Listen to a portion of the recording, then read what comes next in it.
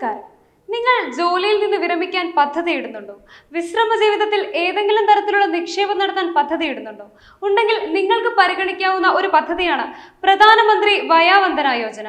ഇന്ത്യയിൽ വയോധികരുടെ സാമൂഹിക സുരക്ഷിതത്വം ലക്ഷ്യമിട്ട് നടപ്പിലാക്കുന്ന പദ്ധതിയാണ് P M V V I എന്ന ചുരുക്കപ്പേരിൽ അറിയപ്പെടുന്ന പദ്ധതി. രണ്ടായിരത്തി ഇരുപത്തി മൂന്ന് മാർച്ച് മുപ്പത്തി ഒന്ന് വരെ പദ്ധതിയിൽ ചേരാൻ കഴിയും. പ്രായപരിധിയില്ലാത്ത ഈ പദ്ധതിക്ക് പത്ത് വർഷമാണ് കാലാവധി. സർക്കാർ സബ്സിഡി കൂടെ ലഭിക്കുന്ന പദ്ധതിയാണിത്.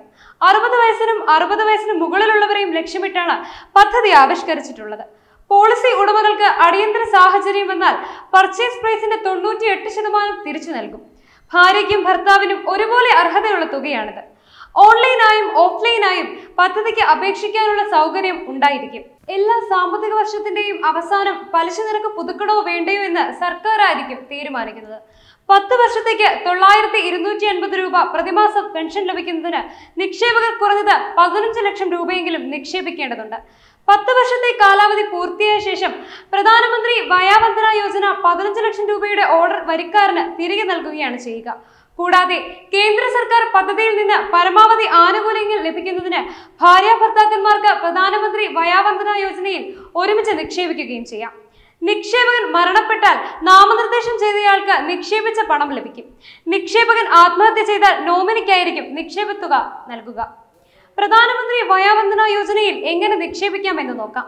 എൽ ഐ സിയുടെ ഔദ്യോഗിക വെബ്സൈറ്റ് സന്ദർശിച്ചുകൊണ്ട് നിങ്ങൾക്ക് ഓൺലൈനായി പ്രധാനമന്ത്രി വയാവന്ദന യോജന സ്കീമിൽ നിക്ഷേപിക്കാം. അടുത്തുള്ള എൽ ഐ സി ഓഫീസ് സന്ദർശിക്കുകയോ എൽ ഐ സി ഏജന്റുമായി ബന്ധപ്പെടുകയോ ചെയ്തുകൊണ്ട് നിങ്ങൾക്ക് സ്കീമിൽ ഓഫ്ലൈനായി പണം നിക്ഷേപിക്കാം. ഇൻഷുറൻസ് പോളിസി ആരംഭിച്ച് വാങ്ങി പതിനഞ്ച് മുതൽ മുപ്പത് ദിവസത്തിനുള്ളിൽ നിക്ഷേപകർക്ക് പദ്ധതിയിൽ നിന്ന് പിൻവാങ്ങാനും കഴിയും. പെൻഷൻ പ്രതിമാസം ലഭിക്കണമെങ്കിൽ ഒരു ലക്ഷത്തി അറുപത്തിരണ്ടായിരത്തി ഒരുന്നൂറ്റി അറുപത്തിരണ്ട് രൂപയാണ് നിക്ഷേപിക്കേണ്ട കുറഞ്ഞ തുക. മൂന്ന് മാസത്തിൽ ഒരിക്കലാണ് ലഭിക്കേണ്ടതെങ്കിൽ ഒരു ലക്ഷത്തി അറുപത്തൊന്നായിരത്തി എഴുപത്തിനാല് രൂപയും ആറ് മാസത്തിൽ ഒരിക്കലാണെങ്കിൽ ഒരു ലക്ഷത്തി അമ്പത്തി ഒമ്പതിനായിരത്തി അഞ്ഞൂറ്റി എഴുപത്തിനാല് രൂപയുമാണ് നൽകേണ്ടത്.